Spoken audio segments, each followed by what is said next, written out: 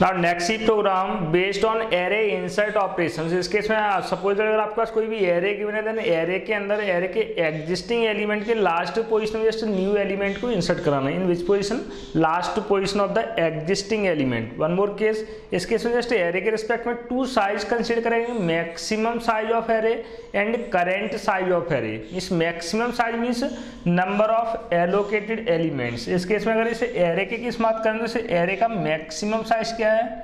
इसे आपको currently concentrate करना only given diagram nothing else इसे डायग्राम के रिस्पेक्ट में टोटल एलिमेंट्स कितने देर आर टेन एलिमेंट्स तो इस केस में एरे का मैक्सिमम साइज़ क्या है? जस्ट टेन लेकिन दूसरा केस क्या? Current size current size means number of available element suppose that initially मैंने हरे के केस में फाइव एलिमेंट इंसर्ट कराए one two three four five remaining places पर आप कंसिडर कर सकते हो सम गार्बेज और ज़ीरो वैल्यूज़ तो इसका करेंट साइज़ क्या है? Just five just two case है maximum size and current size. Current size five तो इसका मतलब क्या फाइव मोर एलिमेंट इंसर्ट कराना पॉसिबल है। लेकिन नेक्स्ट टाइम जब भी कोई आप एलिमेंट इंसर्ट का तो एलिमेंट का इंसर्ट होगा? एट द एंड पोजिशन तो लास्ट एलिमेंट क्या करेंटली फिफ्टी फिफ्टी का करंट इंडेक्स क्या है? Four next time last index क्या हुआ? फिफ्टी के रिस्पेक्ट में just five clear like that तो इस केस में जस्ट एरे के रिस्पेक्ट में टू वेरिएबल्स कंसीडर करेंगे array variable A plus other case क्या? एन एन मीन्स एन के अंदर मैनेज करेंगे number of elements means current size N के फॉर्म में मैंने जो तो एन के अकॉर्डिंग करंटली एरे में अगर फाइव एलिमेंट है, इसके अकॉर्डिंग एन का वैल्यू क्या होगा? फाइव अगर करंटली एरे के अंदर सिक्स एलिमेंट होंगे तो उस केस में एन का वैल्यू होना चाहिए सिक्स क्लियर तो इस केस आपके लिए डायरेक्टली इंसर्ट कराना पॉसिबल मीन्स चेक कर सकते हो एन का वैल्यू क्या है फाइव जो एग्जिस्टिंग लास्ट एलिमेंट है एग्जिस्टिंग लास्ट एलिमेंट का इंडेक्स क्या हुआ? जस्ट एन माइनस वन तो जस्ट लास्ट एलिमेंट का इंडेक्स क्या हुआ? डायरेक्टली एन तो इस केस में आपको कुछ करने की ज़रूरत ही नहीं है। जो भी न्यू आइटम है डायरेक्टली न्यू आइटम किस प्लेस पर असाइन कराओगे? A of nth index equals to new element और new item whatever suppose new item क्या सिक्सटी इस केस में एन का करंट वैल्यू एग्जिस्टिंग वैल्यू क्या फाइव तो इसका मीनिंग क्या हुआ? A of five a of five में जस्ट आसान क्या हो जाएगा? सिक्सटी ना this location becomes sixty clear अब लास्ट एलिमेंट प्रीवियस केस में लास्ट एलिमेंट क्या था? फिफ्टी और लास्ट एलिमेंट कौन बन जाएगा? Just sixty plus last element का इंडेक्स ऑलवेज क्या होता है? N minus one one more case previous case में एरे के अंदर फाइव एलिमेंट्स थे, इसलिए एरे के केस में एन का साइज़ वैल्यू क्या था? जस्ट फाइव और करंटली एरे के अंदर सिक्स एलिमेंट फाउंड हो रहा तो एन का वैल्यू क्या होना चाहिए? जस्ट सिक्स मीन्स पहले आप एलिमेंट को असाइन कराओगे।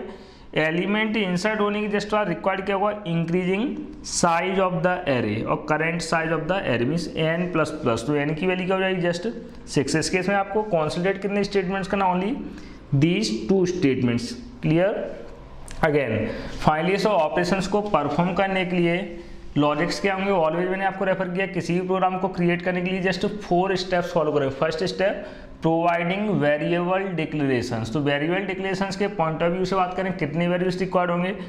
एरे देन एरे का साइज़ मैनेज करने के लिए यूज़ क्या करेंगे? एन एरे के इंडेक्सेस को मैनेज करने के लिए रिक्वायर्ड क्या हो इटरेटिव वेरिएबल आई प्लस जिस आइटम को इंसर्ट कराना है इंसर्टेड एलिमेंट और आइटम वेरिएबल क्लियर टोटल कितने वेरिएबल्स रिक्वायर्ड है फोर वेरिएबल्स फोर वेरिएबल्स के रिस्पेक्ट में ऑलरेडी डिक्लेरेशन प्रोवाइड किया है इनसाइड मेन फ़ंक्शन मेन के अंदर एरे क्रिएट किया एरे के अंदर मैंने इसका मैक्सिमम साइज़ का डिफाइन किया जस्ट टेन इसके इसमें इस एरे का मैक्सिमम साइज़ क्या है? टेन क्लियर नेक्स्ट वन उसके जस्ट बाद एरे के लिए लॉजिकल साइज़ रीड किया बाय यूजिंग वेरिएबल एन तो next time next statement mean first step क्या था? Providing variable declaration second step क्या रहता है जनरली रीडिंग इनपुट्स तो इसके इसमें कितने इनपुट्स रीड करने की ज़रूरत है? सबसे पहले रीड क्या करोगे? Current size of n in the form of variable n means reading value of n अगर एन का वैल्यू फाइव एंटर किया देन एरे के अंदर कितने एलिमेंट्स रिक्वायर्ड होंगे? ओनली फाइव एलिमेंट्स देन इसके जस्ट बाद नेक्स्ट टाइम रीड क्या कराना है? एरे एलिमेंट एरे के केस में कितने आइटम्स रीड करने की ज़रूरत है? एन आइटम तो पहले आप एन के लिए वैल्यू रीड करोगे देन एरे के लिए एलिमेंट्स तो फ़र्स्ट केस में आप चेक कर सकते हो। जस्ट मैसेज डिस्प्ले कराने के बाद स्कैन के थ्रू वैल्यू किसके लिए रीड हो रहा है? एन के लिए. सपोज़ दैट इनिशियली एन के लिए मैंने वैल्यू एंटर किया जस्ट फाइव प्लस एरे में कोई वैल्यूस आनी इनिशियली जब एरे क्रिएट हो तो एरे के अंदर सारे के सारे एलिमेंट्स कैसे होंगे? Garbage clear this the existing case next time इसके बाद एन का वैल्यू अगर फाइव एंटर किया देन एरे के लिए कितने एलिमेंट्स रीड कराना? फाइव अगर एन का वैल्यू थ्री है देन उसके इसमें एरे के लिए कितने एलिमेंट्स रीड कराना होगा? थ्री एन का वैल्यू का सेवन एंटर किया तो इनिशली एरे में एलिमेंट्स कितने रीड करा हुआ seven elements with the help of looping statement तो उसके इसमें अगेन एक लूप राइट करेंगे। इस लूप का जस्ट पर्पज क्या है? लूप का एग्जीक्यूशन कितनी बार हुआ? एन टाइम्स एन का वैल्यू फाइव है देन फाइव टाइम्स देन इसके अंदर जो भी लॉजिक्स हैं, वो लॉजिक्स भी कितनी बार एग्जीक्यूट होंगे? जस्ट एन टाइम्स तो एन टाइम्स जस्ट एरे के एलिमेंट्स के लिए वैल्यू रीड होगा one by one a of five means reading values for n elements clear next one value read करना मीन्स इस केस में loop five time execute suppose that five time scan के case में different different cases में मैंने values enter करा है just ten, twenty, forty and fifty, clear? Next one इसका नेक्स्ट केस क्या है? जस्ट इस केस में इस प्रोग्राम का मेन पर्पज क्या है?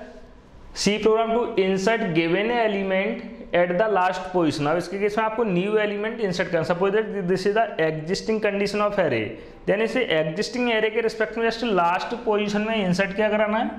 न्यू आइटम तो लास्ट पोजिशन का इंडेक्स क्या हुआ? जस्ट एन क्योंकि प्रीवियस एलिमेंट की जस्ट एग्जिस्टिंग लास्ट का इंडेक्स क्या है? एन माइनस वन यानी इंसर्ट कराने के लिए पहले आपको रीड क्या करना होगा? Value of variable item already मैंने डिक्लेरेशन प्रोवाइड किया था देन नेक्स्ट केस में अगेन इनपुट किसके लिए रीड हो रहा है? मीन टोटल इस केस में थ्री टाइप्स के इनपुट रीड होंगे. Value of n elements for array and value of inserted item clear three inputs inputs read करने के बाद जस्ट प्रोवाइड क्या करोगे? Just logics. लॉजिक्स के रिस्पेक्ट में बात करें तो लॉजिक्स क्या है? इस केस में प्रोग्राम का मेन पर्पज क्या है?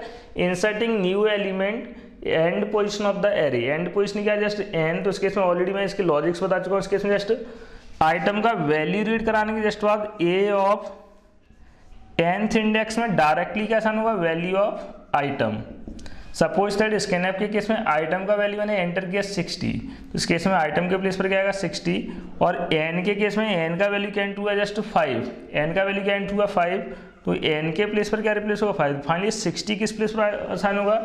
ए ऑफ़ फाइव में तो ए ऑफ़ फाइव का वैल्यू क्या हो जाएगा? जस्ट सिक्सटी इसके जस्ट बाद प्रीवियस केस में इनिशियली एरे का साइज़ क्या था? फाइव अब करंट साइज़ क्या हो चुका है? सिक्स तो इस केस में रिक्वायर्ड क्या हुआ? Increment in size of array array का करंट साइज़ इंक्रीज करने के लिए जस्ट परफॉर्म क्या कराएँगे? N plus plus clear one more case just ये ऑपरेशन परफॉर्म करने से पहले आप एक बार चेक भी कर सकते हो।